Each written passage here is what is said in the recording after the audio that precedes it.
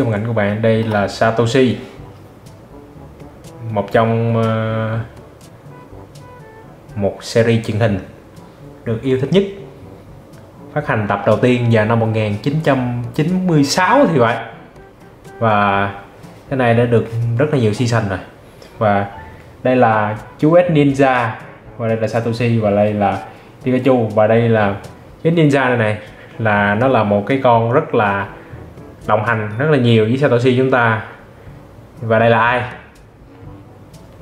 À, thì gọi là sao ta? Ông vua về nhi của tất cả các trận đấu trong Pokemon. Và đây là um, đúng cái tên của nó các bạn. Đây. Satoshi Pikachu và Raikou Renkaura. Là tên của con này này. Mình đọc không được cái chữ này. Và đây là của hãng Mega House nhé.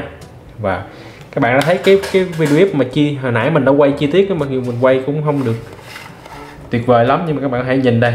Các bạn có thể thấy là cái chi tiết của nó làm rất là đẹp rất là phù hợp với uh, mọi lứa tuổi nhất là những lứa tuổi uh, thiếu nhi. Thật ra là mình cũng là thiếu nhi nhưng mà thiếu nhi uh, to con thôi. Này nhân vật của chúng ta rất là đẹp.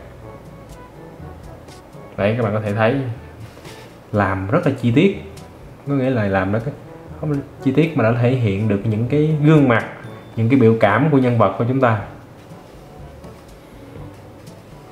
Đấy, đây là đến hãng đến từ hãng Mega House. Rất là đẹp nhé mình mua con này lúc mà mình đi du lịch Thái Lan. Mình tiếng con này lâu lắm rồi, nhưng mà mình lúc mà mình ờ, coi phim thì mình không biết là nó có cái viết của con này. Và tới khi mình lớn lên rồi á lớn lên là lớn lên lúc mà mình đi du lịch Thái Lan á, thì mình khi mình đi trong cái chợ Thái Lan thì mình lại thấy được cái ông kia ông bán cái con này. Giá lúc đó là khoảng khoảng hơn khoảng hơn 2.000 bạc 2.000 bạc Thái.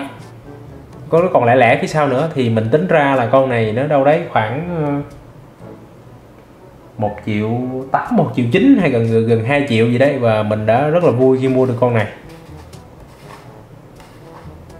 Còn mình ở Nhật thì chắc có thể ờ, nó sẽ khác. Rất là đẹp nha các bạn. Đây. Bạn sẽ coi chậm một lần một lần nữa. Đây. Mình sẽ coi chậm lên một lần nữa. Của nhân vật huyền thoại của chúng ta. Và mình kêu bằng một cái tên rất là thân thương ở con này đó là chú S Ninja cực kỳ mạnh. Cực kỳ mạnh. Theo mình là chú này rất là kỳ mạnh. Nếu mà anh chàng Satoshi chúng ta huấn luyện nó thêm nữa thì nó sẽ rất là mạnh. Rồi. Cảm ơn các bạn đã theo dõi cái video review ờ, nhỏ này của mình. Cảm ơn các bạn đã xem.